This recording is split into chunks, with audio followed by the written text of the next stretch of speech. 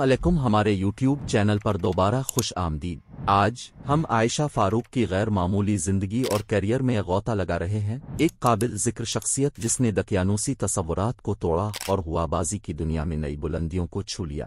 पाकिस्तान में पैदा होने वाली और परवरिश पाने वाली आयशा फारूक का बचपन ओढ़ने के ख्वाबों से भरा था।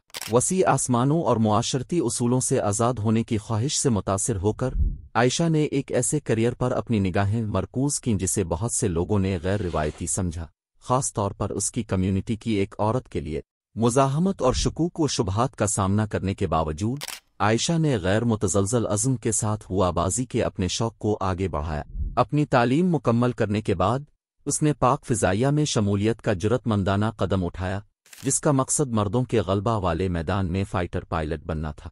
आयशा फारूक ने एक अहम संग मील अबूर करते हुए पाक फिजाइया की तारीख की पहली खातून फाइटर पायलट बन गईं। इसके कारनामे ने न सिर्फ़ इसकी इनफरादी सलाहियत को ज़ाहिर किया, बल्कि सिंफी दकियानूसी तस्वुरात को भी चैलेंज किया।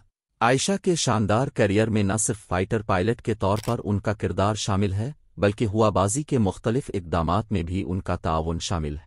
हम उम्मीद करते हैं कि इसकी कहानी अप में से हर एक के लिए इल्हाम की रोशनी का काम करती है। इसे अपने दोस्तों के साथ शेयर करें और मजीद बाख्तियार कहानियों के लिए सब्सक्राइब करें।